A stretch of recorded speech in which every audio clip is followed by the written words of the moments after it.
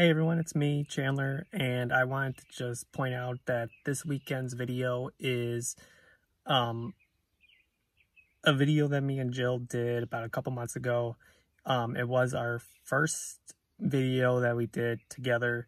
Um, that This was like a part two. So if you've seen the first video that we did, um, this was on that same day.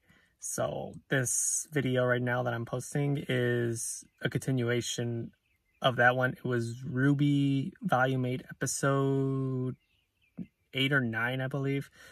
But um, that's that's what we're posting for this weekend. Um, we will all be back soon, so just stay tuned for um, just stay tuned for updates and everything. Keep hitting us up on Instagram and um, go check out um, last weekend's video with Bree doing her first show. And until the next uh, podcast, enjoy this episode. Hi. So we're back with another video, and this time we just decided to record both these videos in a single day because we didn't want to wait. So There, if you watched the video before this one, um, you'll know the reason as to why we're doing both today.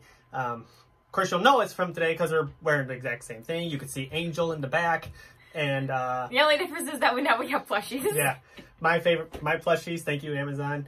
And um, you know, it's funny they had that. These are not the plushies they had in um, Rooster Teeth's uh, twelve Store? day, twelve days of Christmas. Oh seriously? Yeah, exactly. Yeah, I, I mean, like, happy. They also, you guys also helped me with that uh, um, flag that's back there, and then um, and the hoodie as well, along with the um, you can't see them, but the Funko Pops. But there are two. Uh, there's two figures that are up there that I had to, that I got from the Rooster Teeth store.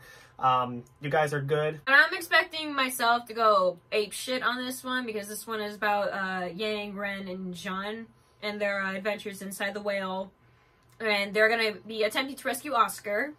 So I'm all I have to say is Harriet is still my least favorite person right now. So if she if she attempts to blow up that stupid whale while Yang is still inside of it, we gonna have problems. Yeah. So This is my favorite person in the freaking show. that's for sure. I almost bought a Yang shirt, by the way, but we'll hmm. have to wait for. I would have stolen it from you, probably. Of course. And back to the plushie, like, of course, here's Ruby. And she has brown hair, but She had brown hair in like the first few episodes. You remember that? Before she got like the red streak in there. it's it's been a while since I watched that one. So oh, we're gonna binge watch. Well, we well- gonna binge watch. yeah, but uh, either way, I mean, they're so freaking soft. So we are gonna get ready to watch the the latest. Uh, it's Valentine's Day weekend, and the the latest one from here. Episode nine of Volume Eight, The Witch. Yeah, and um, how many episodes are in this whole? I thought- uh, I'm guessing I- twelve to thirteen because that's the average of uh, Rooster Teeth volume. I remember they did. I remember they did do a. sh- They did do a Q and A on how many episodes there were.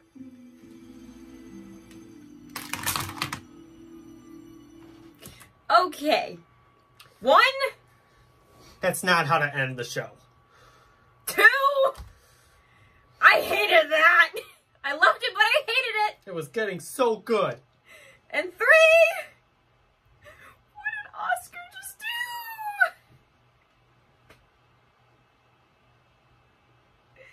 Also, Yang finally called Summer her mom, and I love that. I know that she's hinted at it in the past, but she's never like actually verbally acknowledged it and said it. Oh my god. Oh my god. Okay, I'm sorry, but that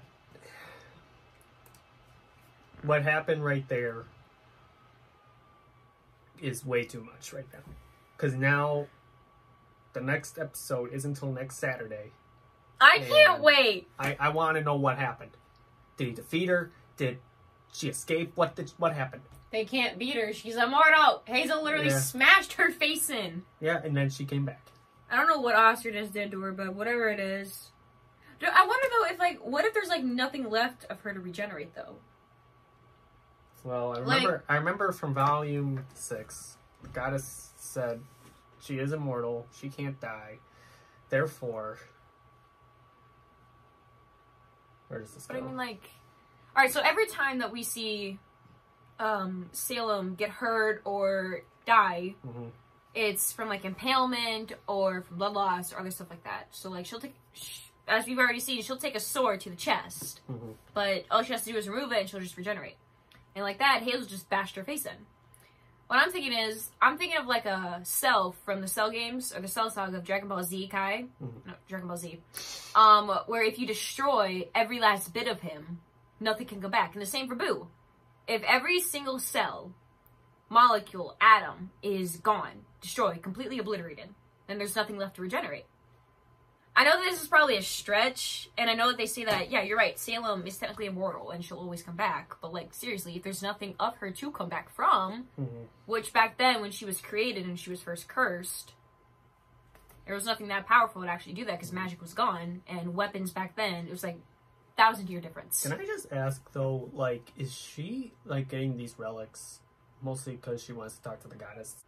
I feel like she does. She, Because you you got to think, the they said that the um, if you collect all four relics, as of right now, she's got three. she's got two. I Because thought, she has I thought she had, she has the lamp. What does she have?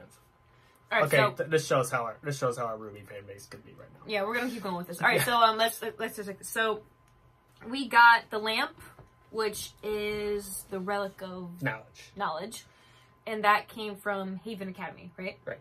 And then now we're at Atlas with the Spear of Creation. Mhm. She ain't got it yet. Penny hasn't got to the vault yet. I don't know. I honestly forgot what already happened to Penny.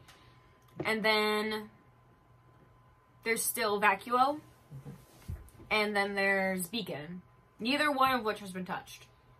you know, it's just gonna. I I'm thinking because the fact of how she got this way, because like I've been wa- I watched Volume Six mostly before we watched this, because one that's actually my favorite volume, but like you know we want to know that like it show it tells you what is like why we're here mostly. Like why are like you know why is she attacking? Why are there Grimm everywhere? Why are there like you know what has happened? You know like you got to think from volume six um Oz Osmond got sick and died and then she wanted him back but the god of Light. light is refusing and he has a good point of course the god of dark does he he brought him back but then that's when the, sh- the that's when it got That's when the shit show started. yeah.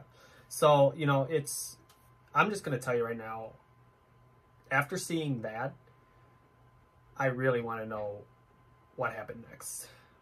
And I'm sure it's probably gonna be in the next episode, and if it's not, and we have to wait two weeks, it's going to be like okay, we know where the other group, Blake, Ruby, Blake, Ruby, Weiss, Penny, Nora. like we know we're all there at from where we know where they're all at from the last episode. And now We know what the Hound is. and now we know what's happening With- whale. so The question is, here's what I'm so hung up on. We have Neo. So Neo was in. Uh, spoilers ahead. Sorry. Mhm. Uh, we should have announced that when we first started the video. That's spoilers ahead. Um, Neo was inside the uh, the room where Mhm. Salem was holding onto the lamp, Sure. and she was spying on Hazel, Emerald, and Cute Boy Oz. I like to call him Cute Boy Oz, but um, she was spying on them and heard him say the password.